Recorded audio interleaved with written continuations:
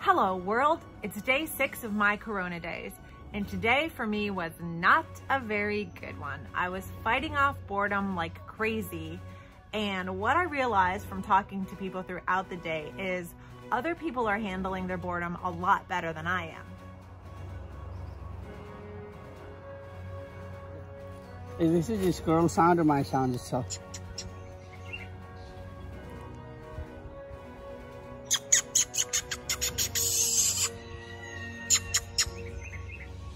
I'm supposed to try to decide if that's the squirrel or you? Yeah. So you've been practicing squirrel sounds in your spare time? Yeah. Why? And they can come to me. And then what? They can, can make a pet. Pet? Yep. A wild pet and ride in the yard. Ride in the yard? Yeah. What do you mean? Right here in the yard. Oh, you're gonna be like, you're gonna have wild pets. Yeah. Like the Tiger King. Tiger King. You're gonna have squirrels. I'm gonna be Squirrel King. Squirrel King. Yeah. Squirrel talker. Yeah. So Sam, how are you coping with the boredom? Um, I'm a, cause I'm a college student. I sit in the computer like all day, reading and doing work.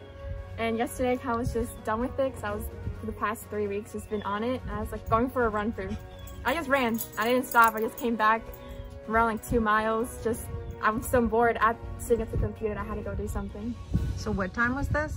It's like 10 o'clock at night. For me, I went on my morning run. I'm trying to run a lot uh, so that I can have something to do. So I'm getting up there high in miles, uh, but I was really unsuccessful. I, I didn't do well. I didn't feel good being out there, um, and it was really challenging for me. Today's run might be the longest run I've ever done. Not because it's the most miles that I've ever done, but because I'm just going so slow. It's like usually I would check my pace and now I'm like, well, oh, what does it matter? You know, I've been training for a marathon for about the last eight to 12 weeks and it got canceled. And now I'm sort of on a who cares type, type run, I guess today. But the other thing that I noticed that I, it really made me feel something is that you know, I live in a community where everyone's super friendly and I, hello used to be my running strategy where I would run along the bike path and I would say hello to everybody and they'd say hello back. And it really gave me some energy. It made me feel good about being out here. But today I ran and nobody wanted to say hello to me. It was like they thought maybe by virtue of, of opening their mouth or me opening my mouth that I would you know, spray on them or something, get sweat on them. And one woman actually literally like took her little child and moved her off of the path from in front of me. And I, I felt like the living persona of the virus itself. It's like the really friendly neighborhood just became very closed and not as friendly as it used to be. We quit um, releasing all these things about, you know, prevent this, prevent that. Um, they're scaring the hell out of people and they're running to the stores and emptying the shelves and then nothing happens. Uh, personally, we live in a small community, so we're not as affected in a big city. Um, my life hasn't changed that much, although, I, I, mean, I don't interact with a lot of people on a regular basis. So uh, personally, it's just a nice time to slow down, look at the clear skies with no airplanes in it, um, enjoy nature. Cool yourself. And, um, and you got to focus on what's important in life, friends and family. That's perfect. That you can communicate with. That's perfect. Have you been doing anything differently since all of this? Like, you said you were bored. I may start adapting it now. You're adapting to it? Mm -hmm. Yeah. It's actually enjoyment. Like you feel like a, you learn more about your life versus you keep running to get something. You know, so now it's chilling. I have nothing to do. It's my days is longer and I feel like I'm gonna live in this earth longer if the corona doesn't kill me. So, and I mean, spending time with my family more and money is not really that much necessary. When you sit home, you have food, you have living situation, right? Everything, I think it's pretty enjoyable. What about your work? You haven't gone to work in like I five mean, days or a week. I work out, so. I mean, what about your business? The business is there. So when I started my company, we started Six Kayak, to make this happen. If it's everything goes down the trend, I can do it again. As long as I live. So you're not worried about losing any of that? I mean, it's a worry really change your life? I don't think so. You know, we have a several time hurricane hit our company, lost a lot of money, and we did again. So, I mean, yeah, it's a painful for this point, point for everybody else. yeah. But end of the day, when you die, you're gonna go naked. So, So you don't care. I don't care. Long as I have food, long as I have happy family, happy life, healthy, that's all that matters.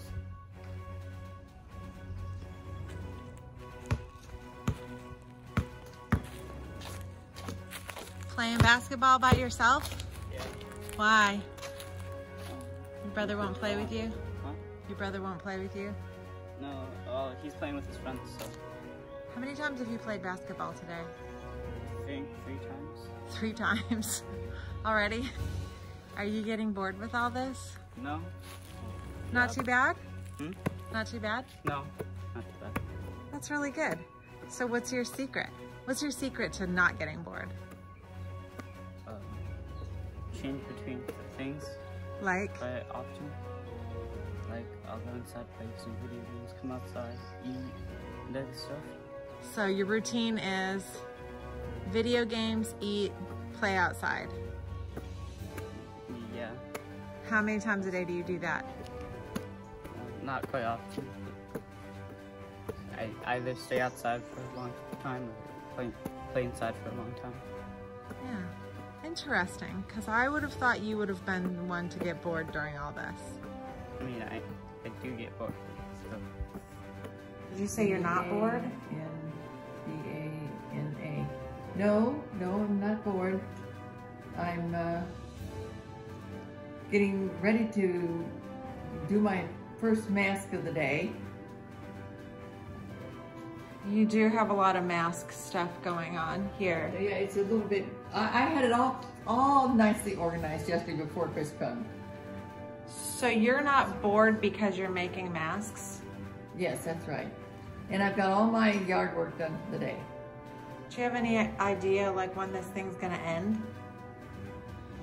I'm, I am praying for the first of June. So I thought about why why am I not doing well at things that I normally do well at? Like running, I would have normally never given up before um, on my miles and I would have been very motivated. And I realized that I'm like going through a stage of apathy where I just kind of don't care about anything. And then I asked myself, well, what, why? Why don't you care? Um, because that's not normally like me. I'm very motivated type person. I'm an entrepreneur, so I like the hustle. I never give up on something, even when it's hard. And what I realized was that it, it's because it's really hard for me to have goals right now in this time where everything's uncertain and we don't really know uh, about anything. It's really hard to have goals. School goals are kind of different because music um, kind of changed. I couldn't get to perform my solo or perform in like my like my groups and things. And it's kind of, it's kind of sad because I'm a freshman and so I got to be with these people and play like end of the year big concert and that kind of got canceled because that was a goal that kind of got thrown off.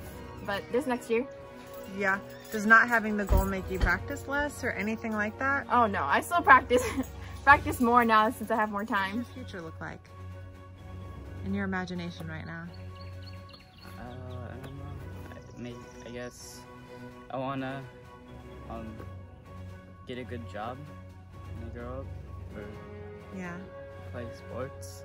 What about like the near future, like the summer? Oh, okay. Um, well, we're probably gonna be doing school during the summer for school, Yeah. and hopefully, the thing is, COVID 19's over by then. So, Because you'll be happy to go back to school next fall, be in seventh grade. yeah.